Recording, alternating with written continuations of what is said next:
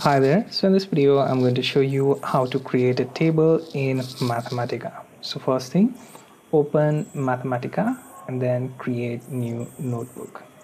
Now once you create a blank notebook, uh, first thing we are going to do is we are going to take a look at this function table form.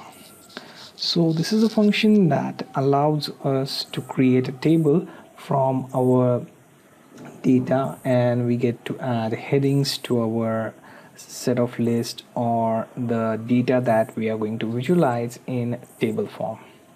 Okay so type in table form and within square bracket I want you to add a list. Let's have it as 5 7 as first then for second row I'm gonna use 4 2 and then we're gonna use 10 3 okay? Now after this set of data what we're gonna do is we are going to take a look at headings okay? Before that let's close this form here so that we can move to table heading so starting with one curly bracket ending with one curly bracket and within that we are adding our one list. Now we have table headings to add and here we are going to add headings within two curly brackets.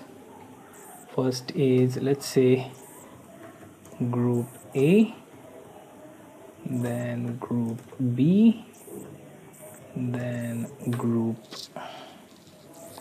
C then close it with curly brace.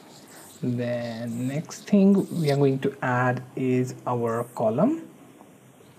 So for column I'm going to add let's say x1 is my first column.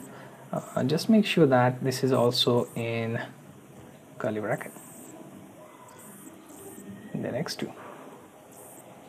And close this. Then again close your headings and finally close your table form okay? So make sure that everything is properly there. For example x1 x2 are both in double quotes. Okay? Otherwise it will show blue line here. Okay? Now that you have your table form ready simply hit shift enter.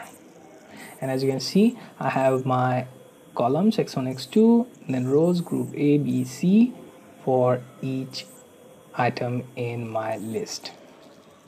Okay now you get the idea that you can have as many rows and columns for this form of table.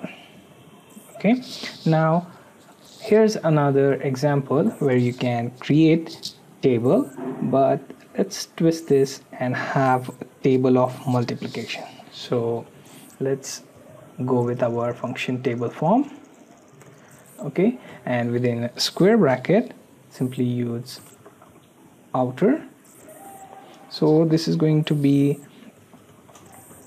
the multiplication table starting with our 1 and then higher. So times first then we are going to set the range 1 to 10 okay now after that again range up to 10 for multiplier.